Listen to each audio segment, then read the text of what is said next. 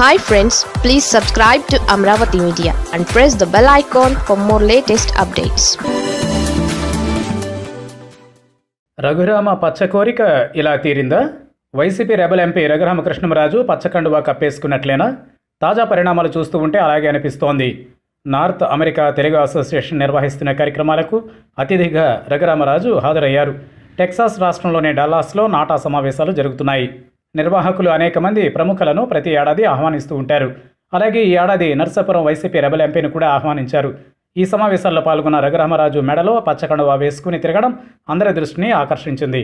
విషయం ఏంటంటే మెడలో పచ్చకండువా వేసుకున్నంత మాత్రాన రాజు టీడీపీలో చేరిపోయినట్లు కాదు.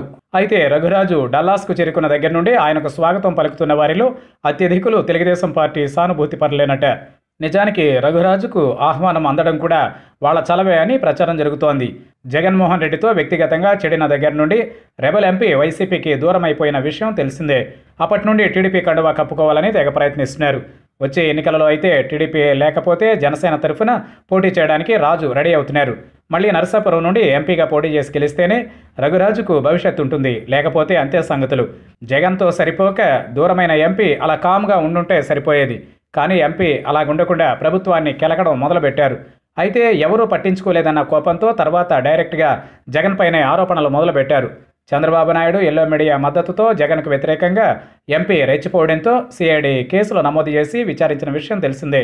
ఆ విచారణ సందర్భంగానే తనను తీవ్రంగా కొట్టారని హత్యాయత్నం కూడా జరిగిందని కోర్టులో కేసు వేశారు. లోక్సభలో ఫిర్యాదు చేశారు.